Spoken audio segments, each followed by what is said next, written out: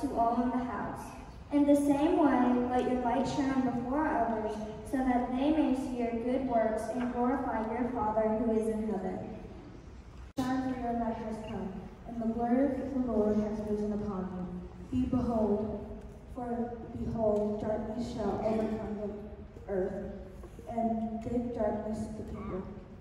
But the Lord will arise upon you, and his glory will be seen will be seen upon you. And nations shall come to your light, and kings to the brightness of, of your rising. I'm so scared. It's spooky out here. Camping's no fun when you're this scared. Let's try to make a fire. Why not use your flashlight? Oh, I forgot. Now that looks a lot better. I can see. I don't like the dark. This reminds me of a lesson I learned at another campground. What is it? As Christians, the Bible says we are the light. What does that mean? It means that people who don't know Jesus are living in darkness and they cannot see. Wow, that must be spooky not knowing Jesus and having to live in darkness. When people live in darkness, they need to look at us and see Jesus inside us. Do you mean we should be like a flashlight bring the, bringing light to the dark? That's right. I'll be telling you some frog jokes that'll make you in a happy mood.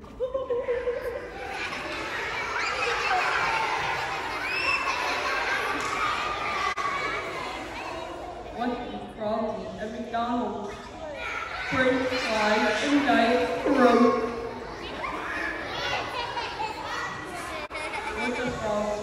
Favorite restaurant? IHOP.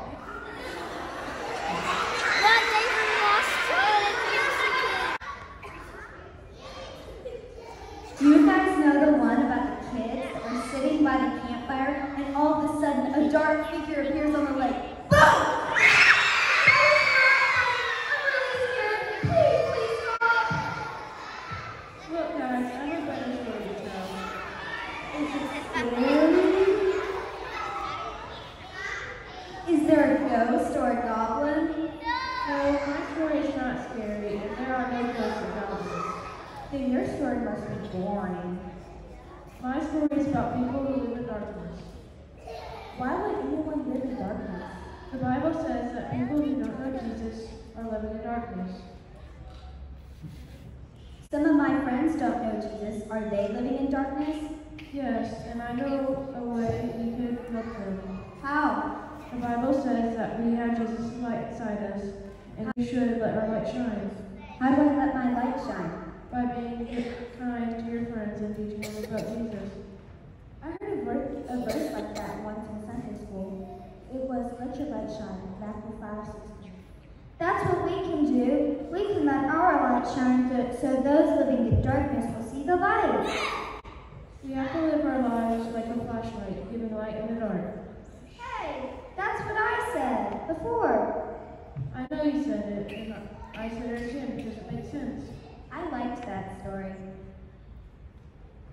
That was better than saying spooky stories that won't let us sleep at night. Hey guys, where's the radio? I have the perfect song.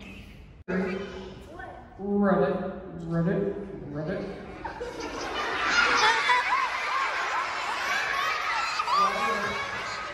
Why are frogs so happy all the time?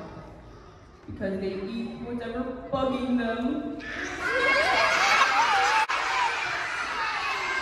What do you, what do you call a sad frog? Unhappy.